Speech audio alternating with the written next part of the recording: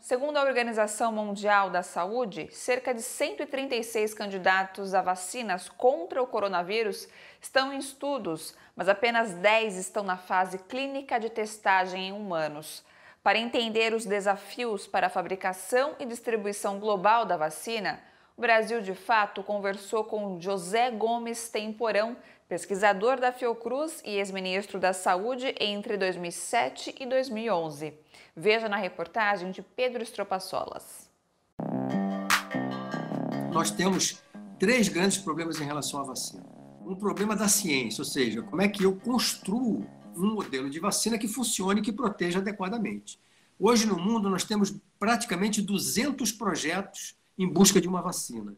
Desses 200, 12 já estão em fase de testagem em seres humanos. O segundo desafio é capacidade de produção, porque nós vamos precisar de bilhões de doses para proteger a população toda. E a gente sabe que isso não será possível.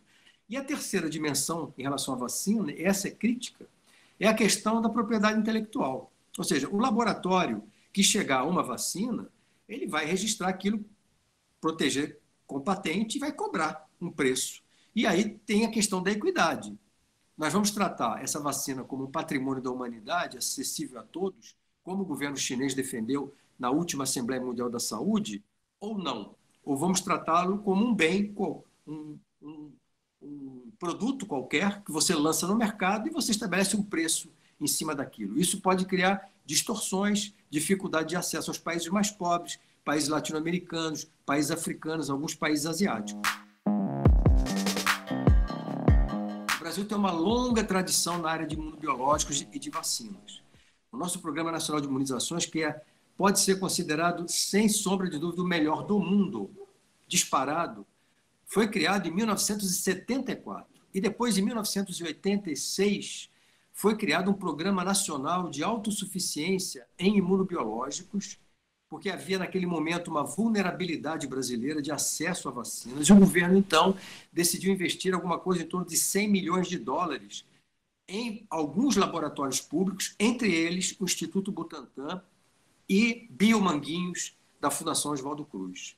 Dentro de três semanas, iniciamos os testes da última fase do desenvolvimento da vacina, com 9 mil voluntários. Essa parceria que foi anunciada entre o governo de São Paulo e o Instituto Chinês, que já tem uma vacina em fase 3, ou seja, é a última fase, onde você testa a segurança e a eficácia da vacina em milhares de pessoas. Né? Se funcionar, por exemplo, o Instituto Butantan passaria a ser um produtor global dessa vacina para o Brasil e para o mundo, o que é efetivamente uma questão bastante importante.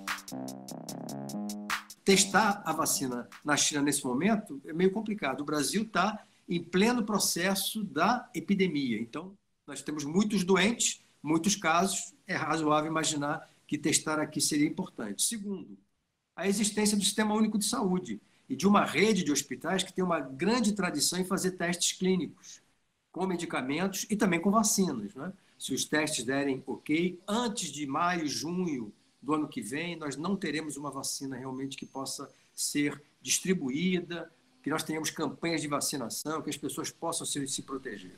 Até lá, nós vamos ter que buscar ainda um medicamento ou um grupo de medicamentos que possa atuar diretamente sobre o vírus, ainda não temos, e vamos ter que manter as medidas de higiene, uso de máscara, distanciamento, monitorar a doença. Gente, bora fortalecer a TVT? É só clicar em inscrever-se e depois clicar no sininho. Pronto! Assim que pintar notícia nova, você fica sabendo no ato.